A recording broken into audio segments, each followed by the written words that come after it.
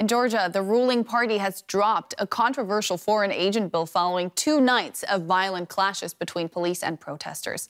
Despite the U turn, thousands continue to rally in the capital, Tbilisi, tonight. They fear the government wants to put Georgia on a path towards authoritarianism and away from its goal of joining the European Union. The draft echoed a Russian law used to silence critics, and protesters vowed to resist what they call government attempts to drag the country back under the Kremlin's influence. The aftermath of the battle between protesters and police is visible on the streets of Tbilisi. And the demonstrators have won. For now. The ruling Georgian Dream Party is backing down the government chairman confirming that they will retract the draft foreign agent law that critics claim is undemocratic. The legislation will be brought out for its second hearing, and during that second hearing, it will fail. Let me once again make this political statement the law will fail by no one voting for it, and this will resolve the issue. The legislation would have required NGOs and independent media who receive more than 20% of their funding from abroad to declare themselves foreign agents. Protesters clashed with police for more than two consecutive days. 50 officers were injured and more than 70 arrests were made on Thursday alone. Demonstrators said the law is reminiscent of existing legislation in Russia that has been used to crack down on dissent and that it could damage the country's relationship with the European Union.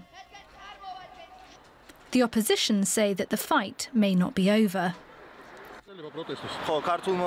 Georgian Dream has not come up against a political power, but the power of the people, and they had to retreat. But we need to keep our protests going, since Georgian Dream may try to cheat. Opponents of the Georgian government say they will hold them to their word. DW correspondent Maria Katamadze is in Tbilisi, and I asked if the protesters don't believe the government will keep its word on withdrawing the controversial legislation. Uh, yes, Nicole, people are still coming to Rustaveli uh, at the Parliament, uh, Parliament Square, uh, where the protest has been going on for uh, past uh, three days. And um, we spoke to some of the protesters, and they said that they don't really believe the government anymore, given that they allowed such a bill, you know, being discussed even in the Parliament. So they're saying that they don't have any trust to the ruling party, Georgian Dream, and they won't surrender until the law is uh, legally withdrawn from the parliament. Mm. We also have reports that demonstrators detained during anti-government rallies have been released. Can you confirm that? What are you hearing there?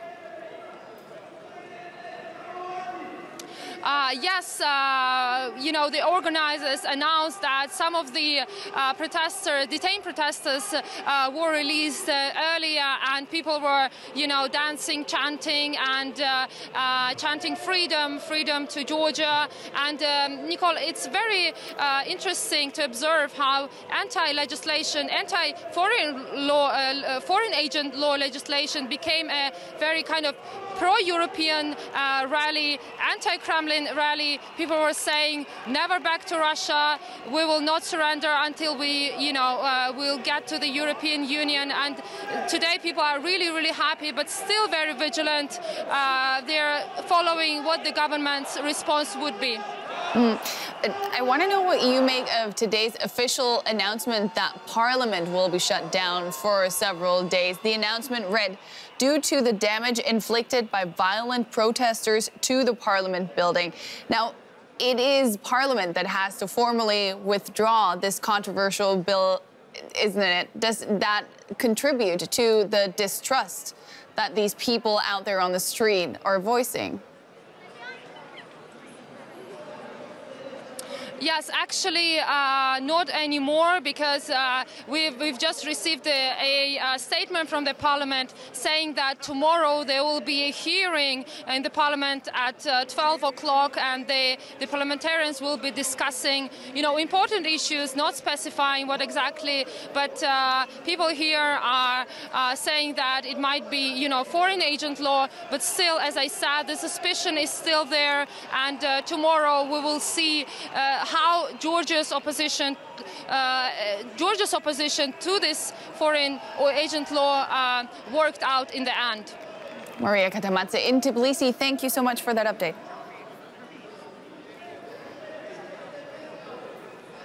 Georgia formally applied for EU membership less than two weeks after the Russian invasion of Ukraine. So I asked Viola von Cramon, a member of the European Parliament for the German Green Party, if Georgia is in good graces after dropping the foreign agent bill.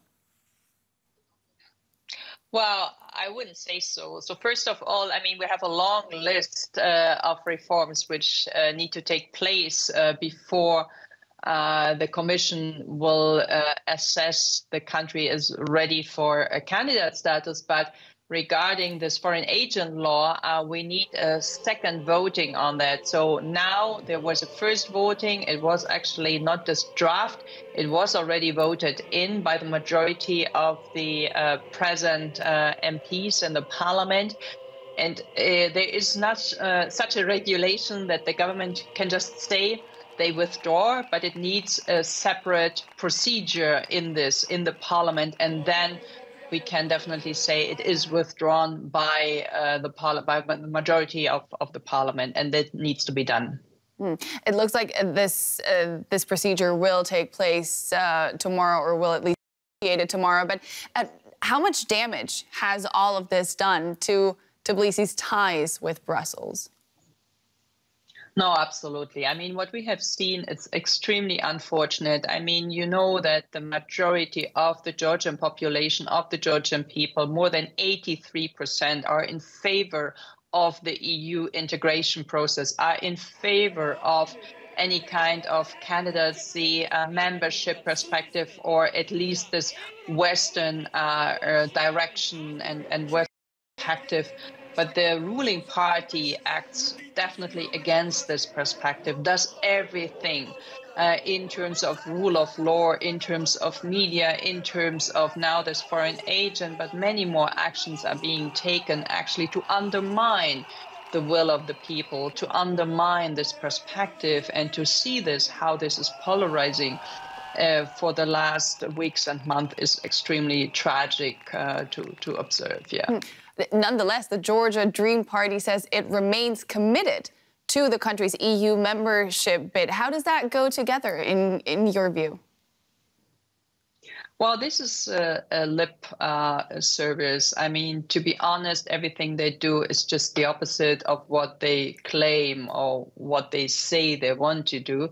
And people recognize that. People understand that uh, this, unfortunately, government uh, does not act in favor of the will of the people, but rather for whatever interest. I don't know which interest they represent, but obviously not the majority of the people who would like to see a different course and a, and a different direction. Yes, um, they reject to work uh, with us in the uh, European Parliament. Extremely difficult for the last three and a half years to even find a day that we can meet and exchange. So um, there is no appetite whatsoever on the Georgian Dream side, on the ruling party side, to find the proper way how to cooperate with us in the European Parliament, neither in the European institution. And that is, as I said, extremely unfortunate. Yeah. There has been a lot of talk about how much this uh, so called foreign agent bill resembled Russian legislation used to silence critics. You know Georgia very well. Does Russia really have that much influence on the current Georgian government? I was always very reluctant uh, to state this kind of, I mean, this very clear and harsh um, uh, statement to say that there is a, a clear influence uh, coming from Russia. But what is very obvious is uh, the influence, the disinfo campaign, the smear campaigns, the attacks on civil society, on international partners uh, such as the US, such as we, all those friends of Georgia being attacked uh, very systematically and and and. I don't know why they do this. If they really would like to see themselves as a as a uh, I mean, their country as part of the club, uh, as member of the club, they wouldn't do so. So obviously, something is going completely wrong. Whether this is only because of the Russian influence, whether this is only somebody else in the background steers this process, I can't say, but it's a very dangerous development. That's that's for sure. And um, I do understand why people in the uh, went to the streets and, and, and, and took actions here. So the bill is off the table, but the question marks remain. Viola von Cramon, member of the European Parliament, thank you for your time. Thanks for having me.